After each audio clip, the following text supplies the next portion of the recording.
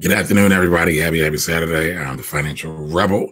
Today is Saturday, and this is our special edition of the Financial Rebel Show called Our Saturday Super Conversations.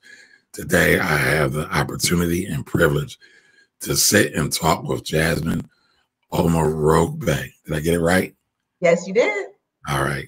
Um, Jasmine is like a super what I call a super duper taskmaster, but actually, she's very, very knowledgeable She's an academic professor, and now she works in a tech space for a big company who I won't give the name out to because I want to protect her anonymity, even though we are broadcasting on Facebook and YouTube. But Jasmine is also a uh, career coach and helps a lot of people write resumes and get ready to go into the workforce. And so today, since everybody is kind of up in the panic, not kind of, since everybody's been kind of panicking and thinking about what are they going to do for money? I noticed a lot of people are not talking about getting jobs or getting a new career or transitioning to a new career because what we have going on right now with the current crisis, a lot of people have a lot of time to think.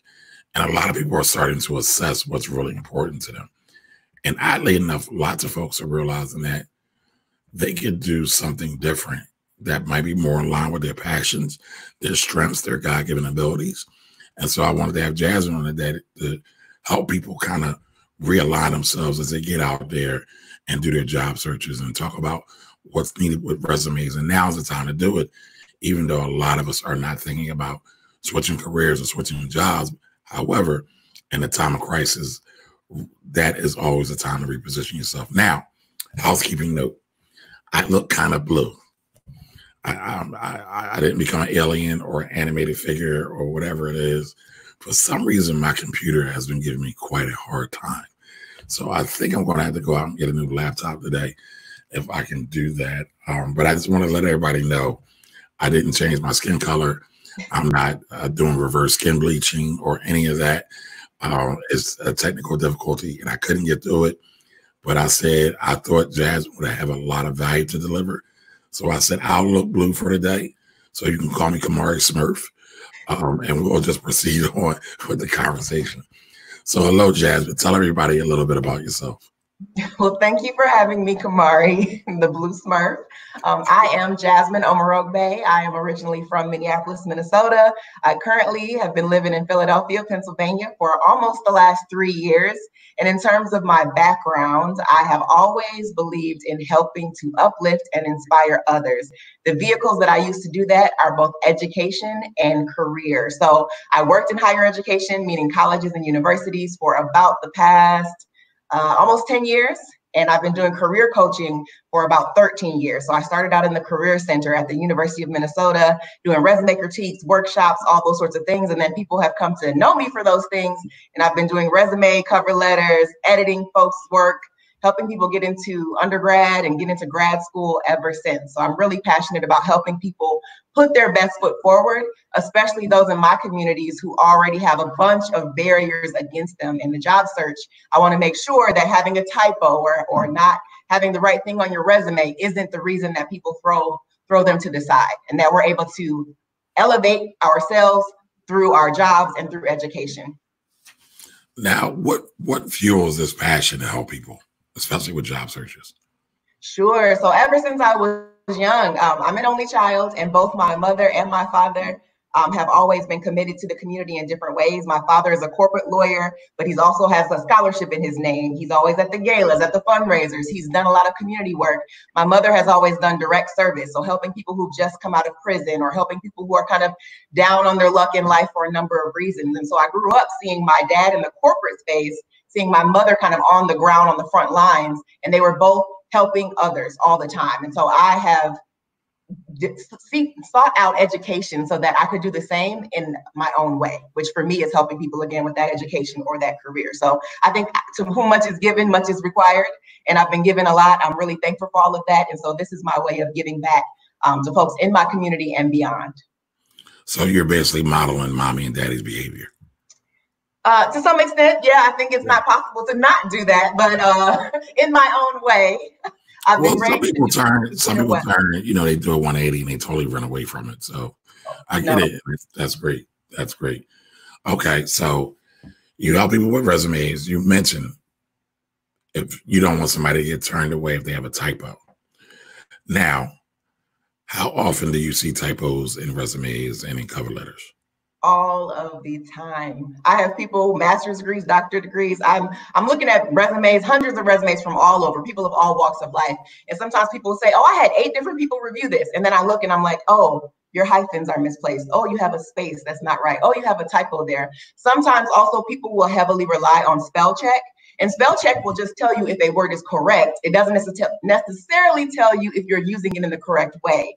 So sometimes people are just kind of making common mistakes that, you know, your eyes might glaze over if you've looked at your resume a dozen times, but it's always worth it to have other people take a look at it. Right, right, right. No, I, I, I do the same thing all the time. So I totally get that. Now, in, in the advent of technology and everything that's going on, do resumes still matter? I mean, are people really reading through resumes or they put them into a scanner? Um, what's more important? Is a resume more important or is a cover letter more important? Those are great questions. And I know today we're talking about elevating your job search. So the first way I want to I want to cover is about refreshing your materials, but the second one was really about refreshing your strategy. So to your question, cover letters have always been important. Like it's something that you should do. It's not something that's going to get you your job the job alone, but a resume with the cover letter is kind of a, a big bonus because the resume kind of states what you did. The cover letter can help put that in context and help give a little color to it. Your passion can come through. The reason why you're different from other people with that same level of skill will come through in the cover letter. So I always recommend, if possible, that people will do cover letters.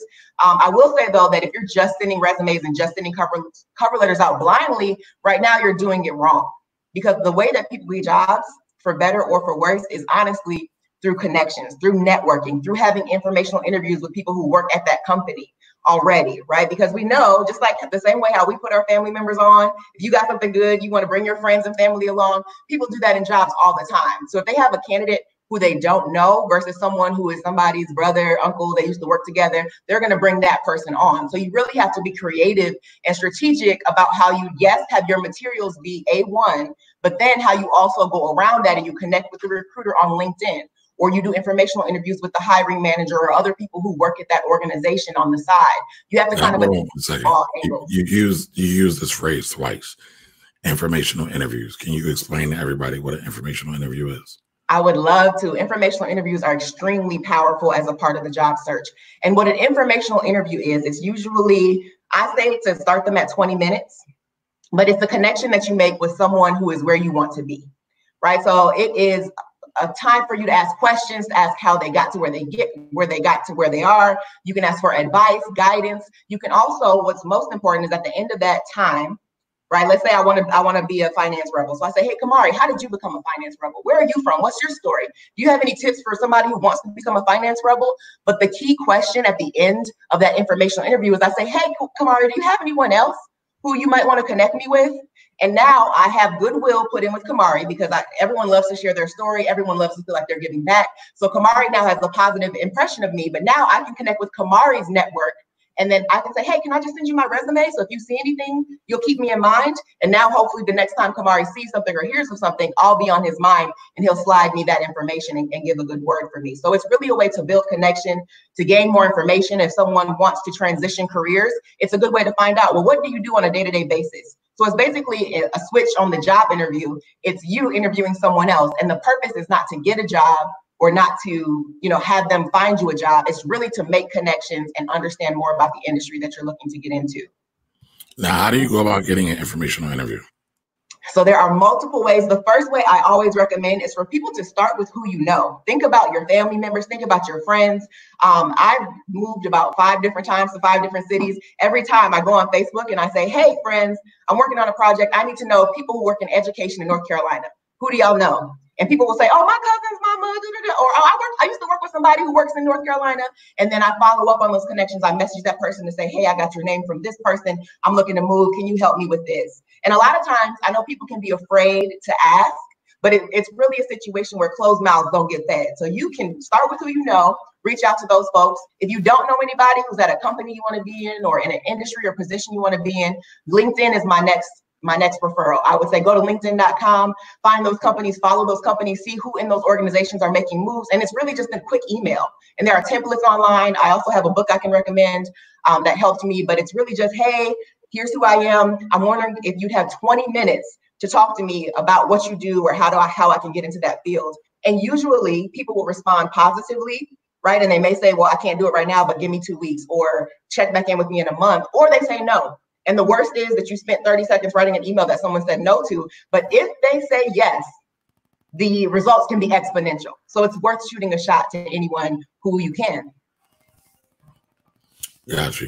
Um, so going back to LinkedIn, LinkedIn, if you see somebody that's a connection of yours that works at the company that you're interested in, would you start with them first and ask them for the informational interview or ask yeah. them to connect you with someone to uh, help facilitate an informational interview?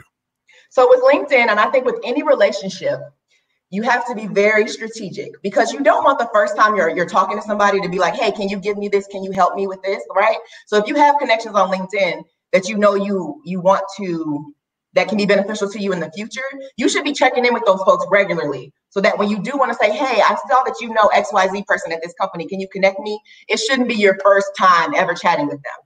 So right. you want to build relationships, check in, you know, follow their activity on LinkedIn, check in all the time. But let's say if you haven't done that and for whatever reason, you want to connect with somebody who one of your connections is connected to, yes, go ahead and reach out and say, hey, here's what I'm trying to do. I'm wondering if you can connect me with um, Bobby Johnson because I'd really like to talk to him for maybe 20 minutes just to find out what's going on and hopefully you build up enough, enough good karma enough goodwill in life that that person is willing to help you. But always start with who you know. You don't have to do an informational interview with that person if you don't think they have any value to offer. But it might not hurt to say hey can we jump on the phone for five minutes ten minutes? I want to let you know what i've got going on. And maybe you know somebody who can help me. And then maybe they would take the initiative of their own to connect you with that person. So it's all about kind of strategically building those relationships and trying to balance the ask and the give. And another point that I didn't mention earlier about informational interviews, when I do them with people, I might send them a $10 Starbucks gift card after. I'm always going to follow up with an email that says, "Hey, thanks for your 20 minutes of time. Like I really appreciate it." You always want to be gracious. You always I always offer to be a resource because I don't want to just be going around in life like taking, taking, taking. What can I give? I'll either pay it forward to someone else, or if that person ever needs anything, they got me right because they took the time to chat with me. They took the time to work with me. So it's about giving and um, receiving at the same time. So that's like pay to play. No. I'm joking. I'm joking. I'm joking. I'm joking. no, but that's good. But let's go back to the original question I asked you about the use of technology and how resumes are scanned. And, mm-hmm. you know, I asked are resumes still relevant because they get scanned a lot of times. So, you know, are you automatically kind of put to the side if you don't meet the checkbox or have a certain number of keyword searches because resumes use keywords now, or resume scanners use keywords now. So, you know, how does that all factor in? Yeah, so a lot of companies are using scanners, and you do have to have the keywords. I, I would recommend going through the job description and taking a look at where you can insert those things into your resume and cover letter. But I will say it depends on the size of the organization. So if you go to a Target, for example, yes, they have the funds to have a system that scans. If you're going to the mom and pop shop or a mid-sized company, they may have real live people who are scanning and reading your PDF with their own two eyes because they can't afford, they don't have the infrastructure to have that kind of technology. So I think you have to prepare your resume in a way that allows for both, whether it's just a, a recruiter who's spending 10 seconds looking at it or it's being scanned by a computer, you want to make sure that you're fine in both camps. Mm. Got you. Got you. Got you. Got you. Now, are there any metrics to determine, let's say, the, the chances of getting a job? Like, and when I say job, right, I'm, I'm talking more $50,000 and above, right? Um, versus not having a, a, resume, right? So if you have no resume, let's say you have a connection to someone, like you say, use your connections, do you always need a resume? If you if you know someone or versus not knowing someone if that makes sense. Mm-hmm, mm-hmm, i got you. I think it's always worth it. You can create a resume in two to three hours. So i think having a resume you mentioned no resume at all. I don't think anybody should not have a resume at all because whether or not you have a job right now you're going to need a job in the future and you're going to need to keep track of what you've been doing. So one thing i recommend is a master or a lifetime resume so that you put on every committee you've been on every community thing you've done every uh, job yeah, Huh? I haven't I haven't updated my resume and I don't know how long, right? So what is a master resume and what is a lifetime resume? Sure. Okay. Sorry. So sorry. Like a CV?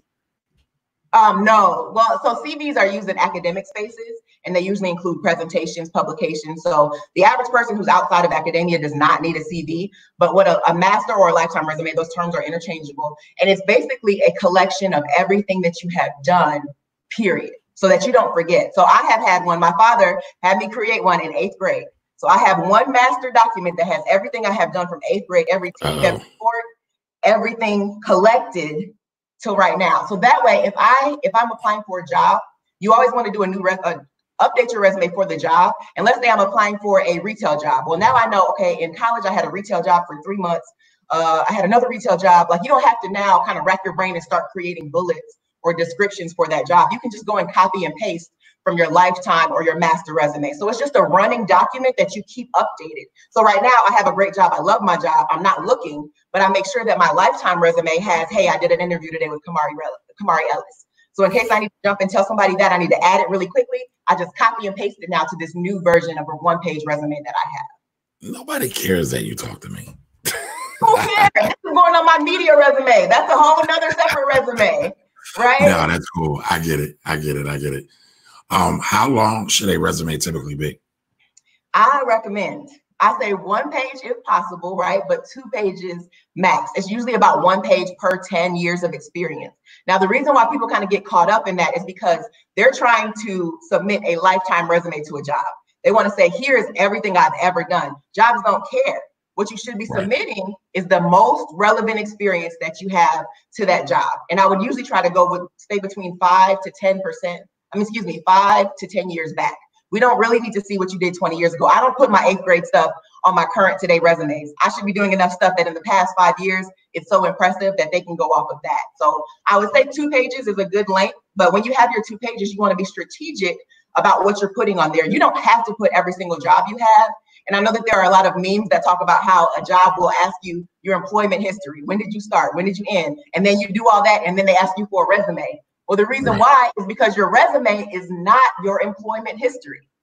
Those are two different things. So your Say resume is the most. A lot of people don't know that. Well, well, I'm here to tell you, right? Your resume should just be a compilation of the most important, your most impressive things. And that may not be jobs that happened in order, right? You may have some gaps in between there. So you title that section relevant professional experience. And that way they're not saying, oh, where did you work for these two years? You're like, oh, I was working at the dollar store. Like I didn't have, I didn't have to put that on my resume. You don't have to put every job you have on your resume. Put the things that the employer is going to care about and that puts you in the best light. And that's how you really get to two pages. Gotcha. Gotcha. Gotcha. Gotcha. Now I just want to take a quick minute to say hello to everybody who's here. Um, Edith Richards.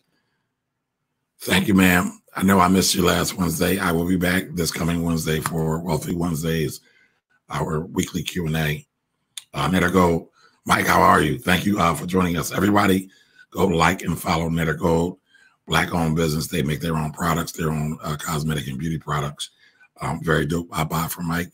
I'm not going to say often, but a lot. He just got me for some money not too long ago. And he makes dope stuff. Mm-hmm. How are you? How are you? Maddox 12, how are you? All right, Imani B, you're loving this. Thank you, Imani. That's my girl. That's your girl. Oh, she's the ringer. okay, click it. Yes, there is a like button. So, all right, we're going to save questions to the end. Everybody will come back to them. Um, I just wanted to take a minute and say hello to everybody. Uh, hello, Leah. I'm, I hope I'm saying your name right. Aaliyah, she's my girl too. oh, you got all the ringers in here. What's up, family? Don't mind me. I'm just the, uh, the black blue smurf today. um, so if you're just joining, I'm Kamari Ellis. This is the Finance Rebel Show. This is our Saturday edition. I wanted to have to start doing some uh, interviews with some people that offer great value to our community for people who need help. And right now is one of those times a lot of people are worried. A lot of people are stranded home, not sure what to do.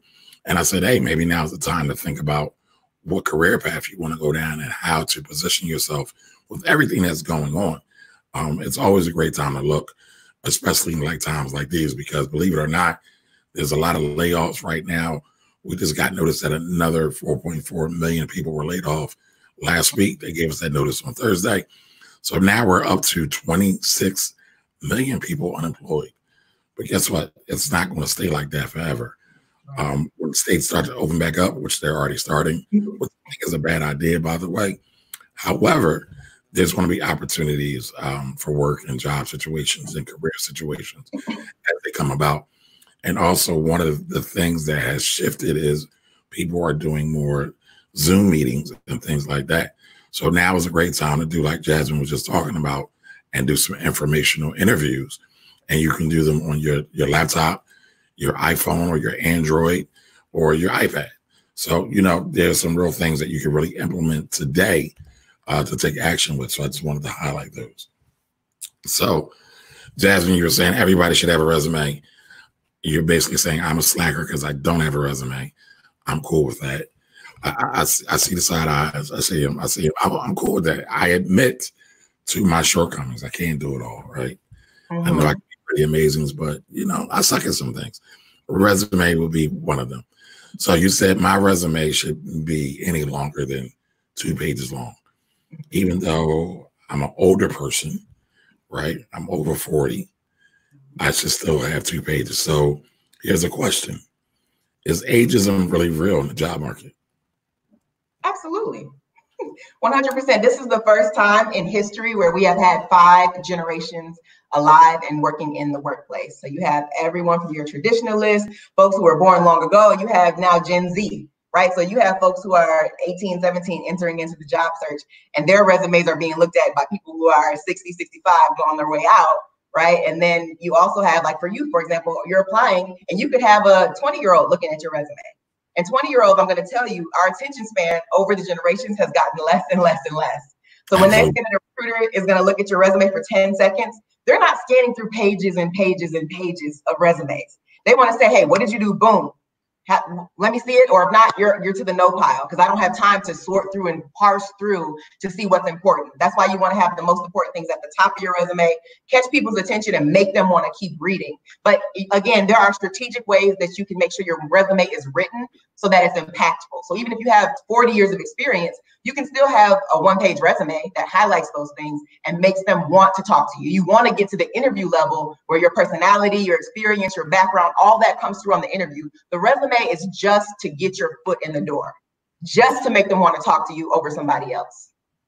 And so, since ageism is real, and a lot of folks my age and older don't like technology, from what I understand, technology can be a great way to, I guess, catch the attention of the potential resume reader so mm-hmm. should folks, you know, be looking at innovative ways like maybe a uh, portfolio online that you can send instead of a resume or some kind of video, quick video intro instead of a paper resume, or should you do all of the above?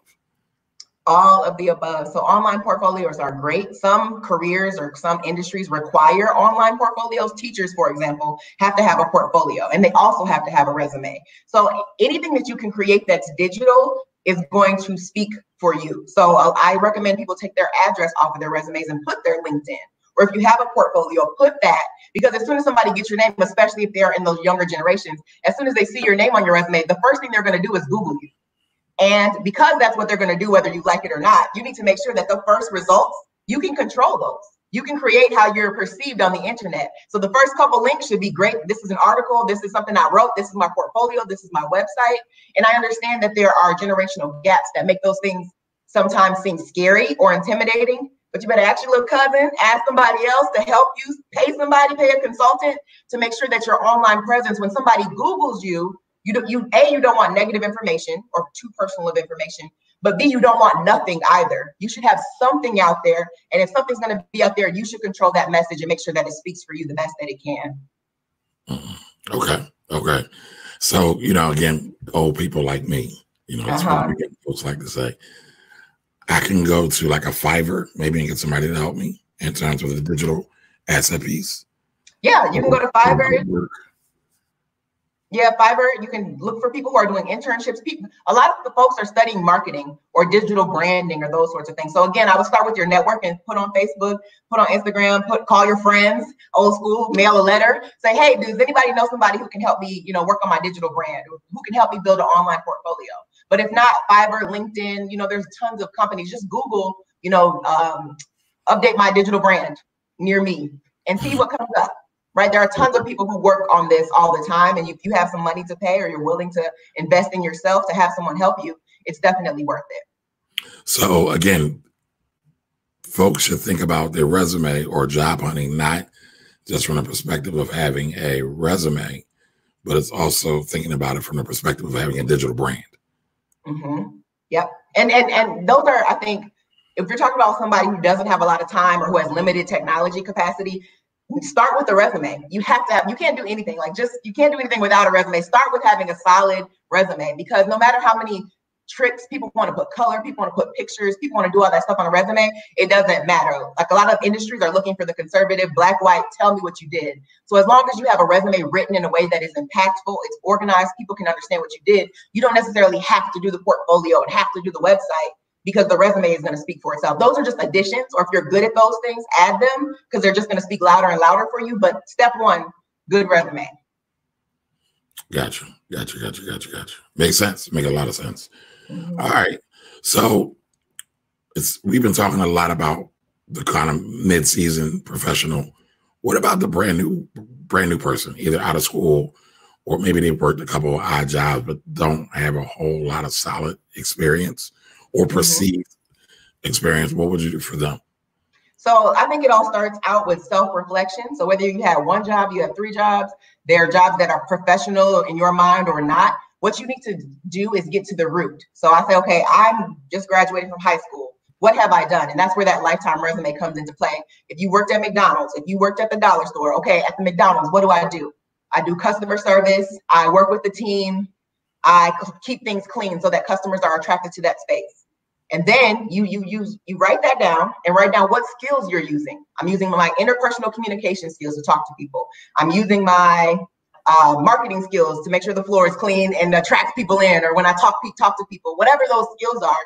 And then so you, you should say, "I'm working on fries right now. Hopefully, I'll become an assistant manager in six months." Listen, put your goals out there. That's an objective statement that you just said. That can be your objective. That can be your cover letter. I don't really believe in having objective statements, but if you're new, you can have an objective that says, "Hey, I want to be an assistant manager. Right now, I'm working the fries, which means I'm timing the grease. I'm using my critical thinking skills to not burn myself. Whatever those things are. So start where you are, and then you can start to build up your resume. And it also doing that assessment of what you're currently doing and what your skills are. That's going to help you see the gaps like, okay, I'm really good at fries, but I need to know how to cook burgers. Let me go find somebody who can teach me how to cook a burger, right? And now you have identified a skills gap. you can identify where to go to fill that gap so that by this time next year, when you're assessing your skills, you say, okay, now I know fries, burgers, and chicken.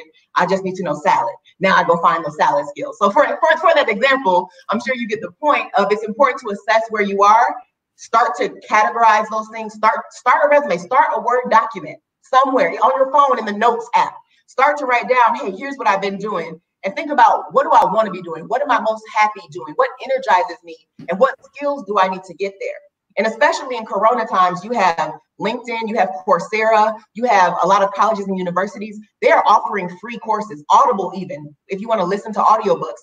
They're offering free trials, longer extended trials than normal. You can go learn those skills right now for free.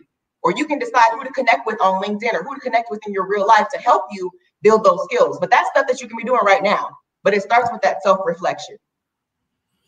Now, uh, staying with the younger generation, right? Many of them only want to work jobs that they're passionate about. So how does how does a person reflect the passion that they have for a particular skill, industry, or job in their resume? Mm-hmm. So, well, on that thought, I think that that's a generational difference right there. Mm-hmm. So sometimes you're smiling hard on that one. Well, because you're older, you know, you know about the generations. Um, older folks in the past have not necessarily Listen, I am only a Gen Xer. I'm not that old. Uh huh. Older folks in the past have not had the luxury of saying, "Oh, let me find my passion. let me find something I love to do, right? Because of financial circumstances, because of all the racism, classism, the patriarchy, everything, all the isms in the world, they have had to do the job that they could get at that time, right? right. So I think sometimes there's a, a misunderstanding or a disconnect between the generations because younger people are like, hey, I'm not going to do it unless I love it. And older people are like, does it make money? You should go do it. Like, we don't care about what you want to do, what you like to do. So I think there's we some way. What'd you say? We got bills to pay. Well, true, right? So there's some kind of happy medium in that the first job that you're getting, the second, third job may not be your perfect job.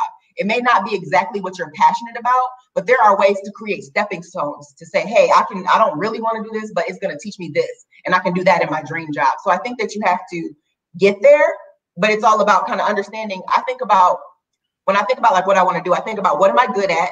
What do I like doing? And what's going to make me money? So if you mm. think about three different, I like to do a, a Venn diagram that people have probably seen online. It's not an original idea, but if I make a circle and I write in here, what things do I enjoy? Okay, I enjoy connecting with people. I enjoy dancing. I enjoy music. Now, what am I good at? I'm good at writing. I'm good at public speaking. Now, what's going to make me money? Because I like to dance, that does it's not going to make me money in the career path that I seek. Right? It's just a hobby. It's something I enjoy. I'm good at it, I'm not, I'm not going to do it professionally. So what things are in all three of those categories that you're good at, you like, and can make you money? And I think those that's where you start to envision your dream job or your goals of where you want to head because you want to be able to do all three. You can't always do all three. Sometimes you have to take a job below what you want because it's going to give you experience that will then leapfrog you and propel you to where you want to be. So it's not always it's that balance of I enjoy it, I like it, it makes me money, but know that your every job is not your end all be all. All of us or even if you're young, your first job is not going to be your final job. She's coming back. Stick with us. There I can we go. hear you. Okay. Yeah, it froze up for a minute. You were on a roll. Too. Can't hear you. Did you hear me? Nope. I said I heard you're on a roll. Yeah, that was what I said. Okay. I said. So yeah, you were you were talking about um, connecting you know, your Venn diagram. What are you good at? What are you passionate at? What can you do to make money? Um, and you, you were explaining why why you love to dance. You're not going to quit your full time job and go work. Oh, I got so many jokes for that. Um, go work somewhere that that where people dance. Uh, but it's a PG show. Uh, so, uh, so where with with your skills, right? You were you were putting together all your skills. You speak well let me let me you are a good professional speaker because I hate when people say that. Um, you can write. What was the other thing you said? Um, connecting people or connecting to my community. Something else. Okay. Mm-hmm. And so how would you how would you pair those together with an ideal career? So it also it depends on industry. So I'm interested in education. Um, but if someone else, you know, was interested in another industry, it would ma- it would make sense. But for me, the job that I have now, I get to travel and talk to people about education. So I public speak. I have to do a little bit of writing because I have to respond to RFPs. Um, I connect people in my both work life and my personal life. Right, I connect people around Philly to each other and to me, and then we go and support other people's things that they got going on. Um, and what was the last one? Uh, speaking, writing, connecting. I think those were the three that we talked about. So I, I, but it would depend. Like if I wasn't passionate about education and I work for an education tech, tech company, if I was to pair those skills and be a, like those might lead me to be a hairstylist. Those might lead, lead me to be a mechanic. Those might, or be a trainer or a teacher. Those same skills, like underlying you have your, what you call your soft skills or your transferable skills. And those are the fundamental things, communication, leadership, um, relatability, like those sorts of things you can take in, in, in, in any industry, right? Whether you're a mechanic, whether you're a doctor, you still have to talk to people, consult with them and say, hey, what do you need? What's your problem? You listen, you figure out what the solution is. So a doctor and the mechanic are using the same skills, right? But they both have to know that they're good at that or parse that out at some point too. So it can, it can work for any industry. Okay. Okay. So millennials have hope. Gen X people have hope and baby boomers have hope. There's room for everybody, right? Yes. But you have to be able to make yourself palatable um, uh, enough via your resume or some other form of digital branding. Correct? Or no? Yeah, and your skill setting. I will. I'll, one more point on the millennial or the generation, not millennial, millennial Gen Z. I think we also now at this point, because of technology, maybe have an inflated sense of what success looks like or how we get there. Because I think for people who are younger than me, they've seen somebody do something on YouTube and now they're a millionaire, right? Like you, you they Jay Versace, for example, right? His, his net worth is like 21 million or something at this point, and all, he's just making videos that are fun to him, right? So now you see, okay, He's a he's an influencer, an influencer. So we've been able to see whereas in the past you had to work really hard. Look at Oprah, work really hard, have your own show, you know, to be famous. But now I could make I could do something silly right here on my phone today, and I could go viral, and everybody could know my name tomorrow. And then I have a level of celebrity or fame that I did not have before. So I do think that sometimes the, but we don't necessarily see like the hard parts when people are grinding, when people are going to companies and pitching themselves. You know, no one shows that on IG. They don't show the work that they have to do to become an influencer. So I think sometimes people think that step A to, to Z is a straight line. All you got to do is do this, right? Like, but we don't right. see all in between. And so some of that in between might be taking a job you don't like. It might be working with people who you don't really want to work with. It might be the hard, like the grind that we always see right. on Instagram. There that's a grind for everybody no matter what. You don't get anything instantly right? Some people like even Issa Rae she was making videos for 10 years before she got her HBO and now she's making movies and doing all those things. But if she didn't start in 2006 or whatever doing those things she wouldn't be where she is now. So it's really about kind of grinding it until you can get to where you want to be yeah because Issa did what the, the awkward black girl I think Misadventures of awkward black girl right and it's funny that she even now still uh, interweaves that series and um, Insecure. She yep. does a lot of the same thing. So you can tell she's migrating the skills that she learned um, from Weird Awkward Black Girl to now Insecure, which is on HBO. Right. Right. The glow up. She had to put yeah. in the work. Yeah, you got to put in the work. But I, you know, I, I, will say this. I do think a lot of times millennials or Gen Zs get um, a bad rep because some of us older folks look down on them and don't realize that to me, baby boomers are so millennials are a remix of baby boomers. Baby boomers did a lot of the same things millennials are doing right now. Mm-hmm. Baby boomers in the six, late 60s and 70s, they didn't want to go to work. Mm-hmm. They were about flower power. They were about living in compound. Some of them, right? We're talking generally, right? But they did all these quote unquote anti-establishment things everything from uh, boycott the war to have these weird uh, festivals and drugs and orgies and things like that. It seems like everybody forgets that. Mm. And now we have millennials and they say, well, they don't want to work uh, a regular job because there's more to this. There's more to life than just working. I would think, especially baby boomers, they would get that more, but it seems like they don't. Mm-hmm. But, you know, I guess um, a lot of times we forget the past until it comes up and smacks us in the face. Right. Um, so everybody has skills. Uh, everybody can highlight those skills. And then you also talked about figuring out where you wanted to work potentially, right? As you mm-hmm. said, you know, go to family and friends first, look at your your LinkedIn. What if a person absolutely has no clue and they're just looking for a job just for just for the money? What mm-hmm. do you mm-hmm. think they should do? So if you don't have people who are who can connect you to kind of where you want to be, you just want to find a job. I mean, I would start with Google. So what do you? I mean, of course, there's the websites Monster.com, Indeed.com. You know, uh, all sorts of like job search websites.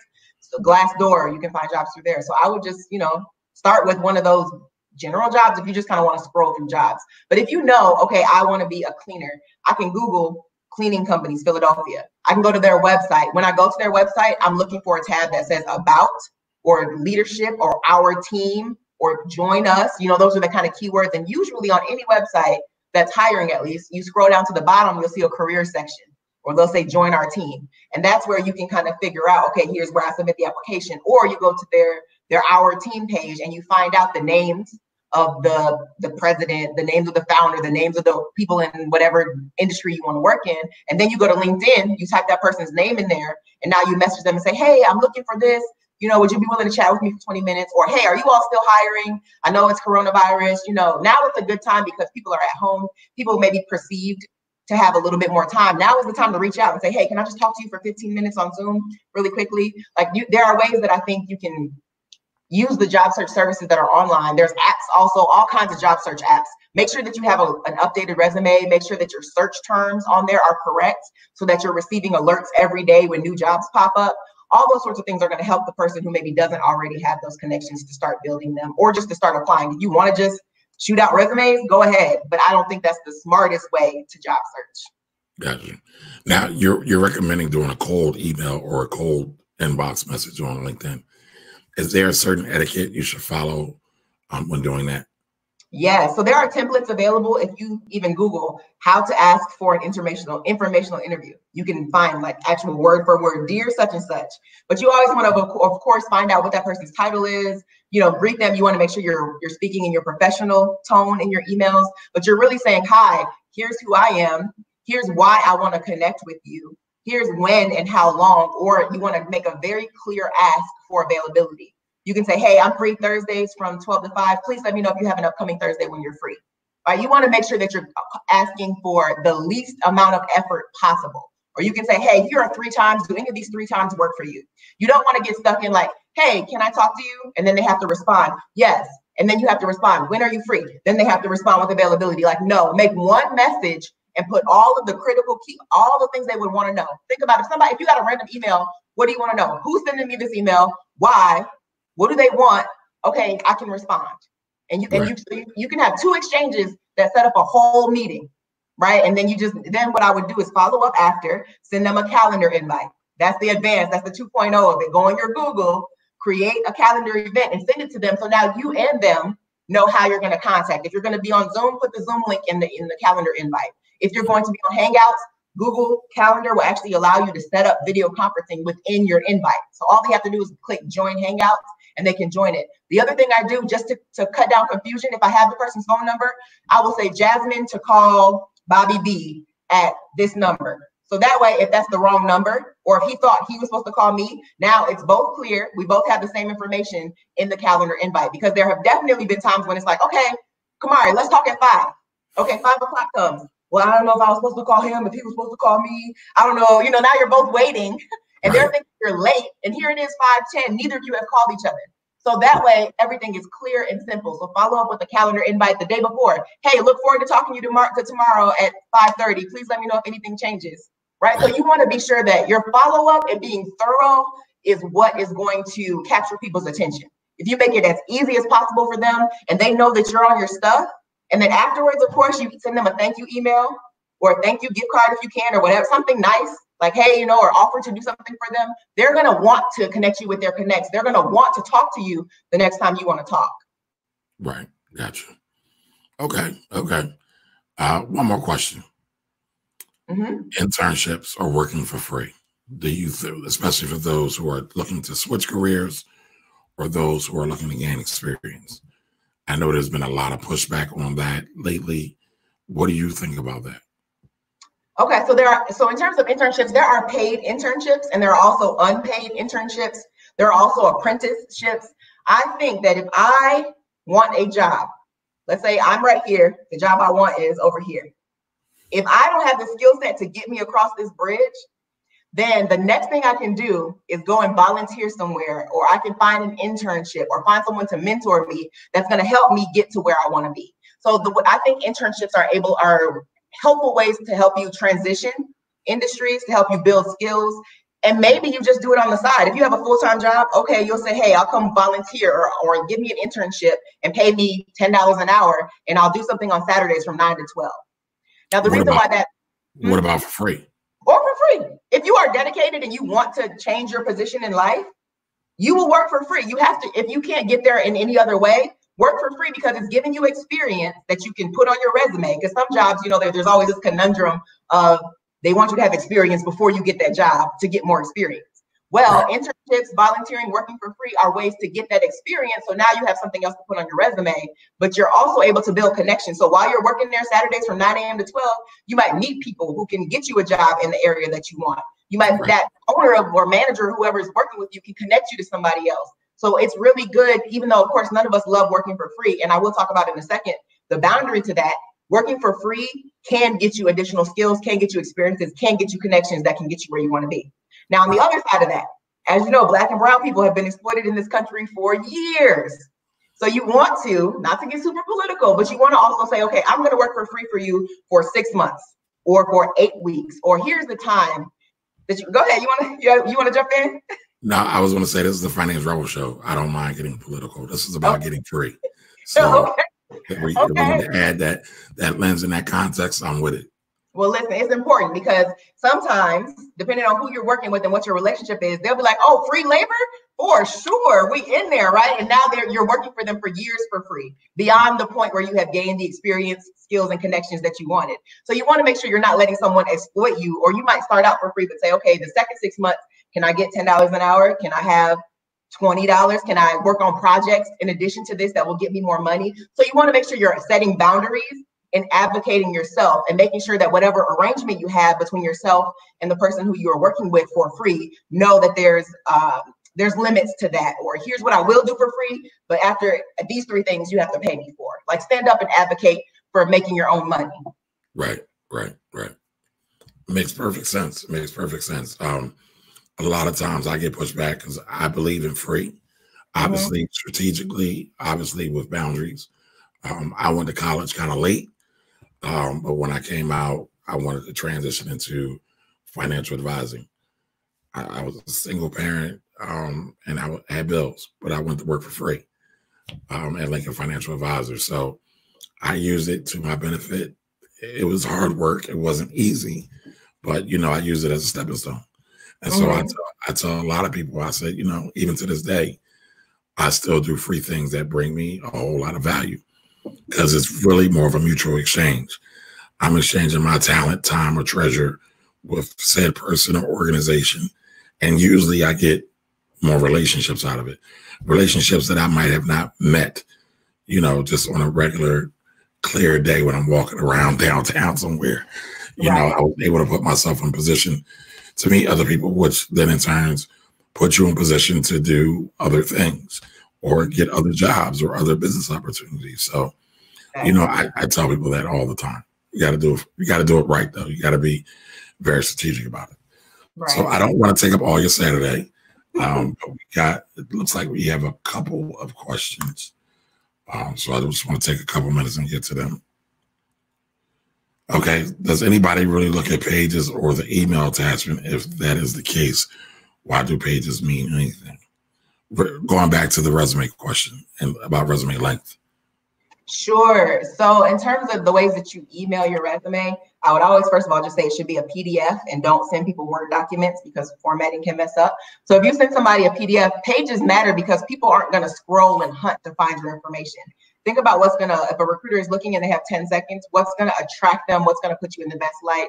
But um, again, for academics, pages, you can have as many pages as you want. It's a whole different thing. It's called a CV whole different than a resume. Resume should be, again, one or two pages, capture their attention, make them want to talk to you more. So pages matter because people aren't going to hunt to give you a job. Okay. Great, great. And by the way, if you're just joining, I'm Kamari Ellis. This is the Finance Rebel. We have Jasmine Omar Rogby, right? Did I get it right this time? Omar Omar Rogbe. All right, yeah. Omar Rogbe. Um, she is an expert in job placement, resume writing, and career coaching. And so I had her come on today to just help out our audience with those things. If you know anybody that's looking for a job, share this video with them so they can check it out. Jasmine's already dropped a lot of jewels already. All righty. Alea, right? I think Alea. I Alea, Alea. What if you don't feel like you have enough to put on a resume? Should you add some stuff uh, that you may be that you may be older but still res- relevant? So I'm guessing saying that maybe older but it's still relevant. Yeah, I would I would definitely. If you don't have enough, try to fill, of course, one page at least. And there are things that you can do like adding qualifications, adding skills. There are resume fillers that we could recommend, and I'm happy to work with people on. But if you you can add older things that are still relevant. What's key is relevance, right? Don't add older stuff that doesn't matter. Add older stuff that's relevant uh, to your resume, and that's totally fine. So let's. I'm gonna use me for an example. I used to be what's called a Microsoft certified engineer years ago in the tech industry. Haven't done that in years. But if I wanted to go back and say apply for a tech job, I, I should list it, right? Yes. that. Okay. All right.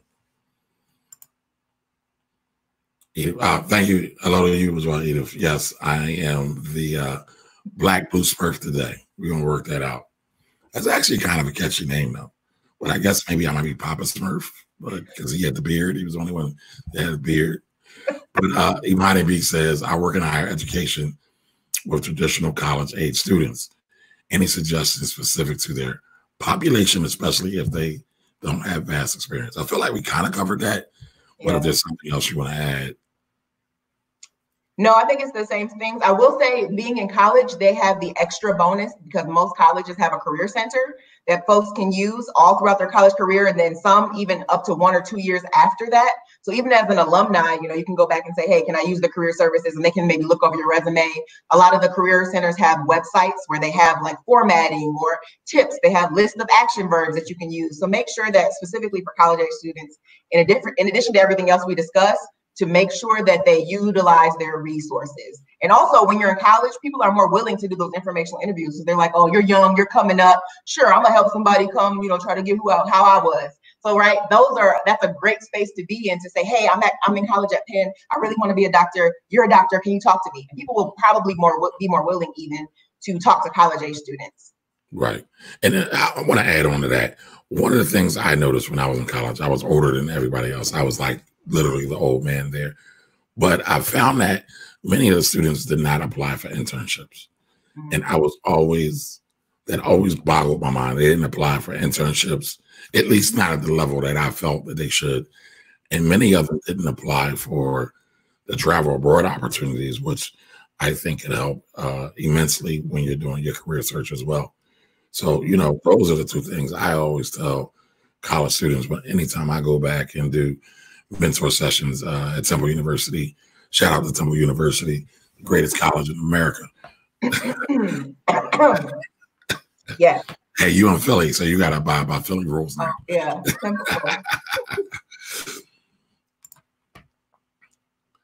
so Edith says, I believe our years of hustle are our pers- personal, are our personal universities of learning. Okay, I can see that trial and error, creating wisdom and discernment to achieve the ultimate goal. For example, I attend the Edith University. Mm-hmm. I like that. I like that. I mean, again, I, I believe in lifelong learning. I don't, I don't believe that learning stops when you leave school. Um, I'm not going to get into the whole college versus not going to college now, but I think formal or informal, we should all be lifelong learners. Right for a bill. okay so now this is about doing um uh informal uh interviews or interviews for availability what are your thoughts regarding telling people they can look at your google calendar for a time to schedule a meeting mm-hmm. i thought about that i wasn't thinking about google but what do you think about that so I think it depends on the purpose of the interview or and or your status. When you make the big bucks and you want to tell somebody like, "Oh yeah, look at my calendar," I prefer the method of, hey, I'm emailing you. Here are three times when I'm available. Do any of these work for you? I would say uh, when I talked about minimizing the hassle or the inconvenience for the person that you're asking for something from, I think it can come off either a little bit pretentious or maybe not as efficient to say, hey, go look at my Google Calendar and see when when you can meet with me. Right? Like, no, you're asking them for a favor, you're asking them for your time. I would give the windows that you're available, or and always give the caveat, well, if none of these times work for you, let me know when's best and I'll make it work. Like, you know, you, right. you share your availability, cut out the middle step of them having to go find your calendar, look at it, compare it with theirs, tell them when you're free, and then, or say, you know, if you can provide me with three times you're free, I'll make one of those work. And you just commit right. to update your schedule based on that. But I say minimize the hassle or inconvenience when you're asking someone for a favor. Don't make it hard for people to help you. Right, right, right. I mean, I agree. I tell my clients I have a, a no friction rule. So I try to reduce all friction when it comes to getting payments, especially, but even when it comes to setting appointments. So sometimes having like tools like Calendly and some of the mm-hmm. others or Google, they work. But if you're sending, if you're asking somebody for something, it doesn't make sense, in my opinion, to have them take an extra step. Because I know when people ask me for stuff, and they start adding all these extra steps, I totally check out because then I'm thinking about all the other stuff I have to do. Right. So, you know, try to put yourself in the mind space of the person that you're asking of this interview or a special favor from for. Mm-hmm. Uh, Edith says, Well, I adopted Kamari as my mentor. I didn't know that, Edith. You know what? I saw you say that somewhere else. We might discuss terms and negotiate that or something. No, but I'm honored, Edith. Thank you so much. And Imani says, Yes, this is so good. Thanks for all the gems. Well, thank you uh, for joining us, Imani. Pleasure to virtually meet you. Um, Jasmine, in closing, where can people find you? How can we support you? Um, you know, what do you have going on? Where would you like us to either help or direct us to get to know you better? Sure. So again, thank you for having me uh, today. I am launching a website this week, and I had a different one, but I took it down. So it's going to be jasmineomo.com. So if you look this evening, I have a live already with my friend. We're doing kind of a podcast live video tonight. And after that, jasmineomo.com will be up. Um, I'm on Instagram at j.cherie, C H E R I E underscore Amour, A M O U R. So Cherie Amour, like Stevie Wonder song. Um, I'm also on Facebook as Jazz Jasmine Omorogbe, my first name and last name as well. So the website is Jasmine O M O. Dot com, but you won't be able to find it yet because the launch is tonight after the podcast. Yeah, but you know, this video goes up. Who knows when somebody's going to watch it? Oh, true. And so, you. you know, oh, they'll be, they'll be ready, right? Jasmine O M O. Yep. Dot com. Yep. And can I, Kamari, too? I know that the video was titled Three Ways to Elevate Your Job Search. So, just really quickly to make sure that people got those three ways. Number one is to refresh your materials. Number two is to refresh your job search strategy. And number three is to refresh and refine your skills. Go out there and learn what you need to do to get the jobs that you want. Okay, so give it to me again. Re- refresh your job search strategy. No, but that's number one. Number two. Number one is refresh your materials. Refresh your materials. So materials resume being cover resume, cover letter, and digital assets, right? Yep. See, I was listening. You were. All right. And so the number two is refresh your job search strategy. Strategy. Refresh your job search strategy. Okay. Yep. So include informational interviews. Think about what positions are going to be stepping stones to get you where you need to get. Think about relocating. Think about, you know, all those sorts of things. Think differently about how you're thinking about your job search. It's not point A to point Z. It might be all in between. And then the last one is to refresh and refine your skill set.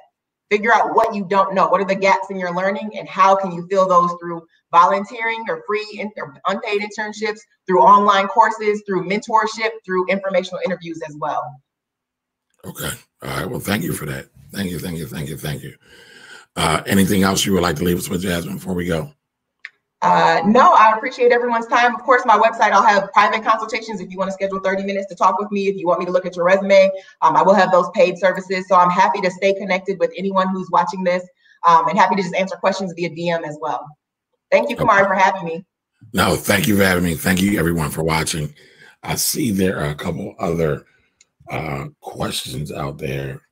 Um, no, they're not. They're, they're just thank yous. Thank yous. Okay. okay. All right, everybody. Thank you. Carice, thank you. Um, and everyone have a great day. Listen, let's make this time very productive. Let's be very, very intentional. I get it. It can be very uh, downing, very depressing because we don't have great leadership right now. But guess what? We could all be great leaders of ourselves. So let's be very intentional about these steps we take over these next several days, weeks, and months, because these next several days, weeks, and months will change how your next years and decades will become for your life. All right, everybody, have a great Saturday. Again, I'll be back Wednesday, Wednesday, 8 o'clock, YouTube, Facebook, IG. Have a great day, everybody. Bye bye.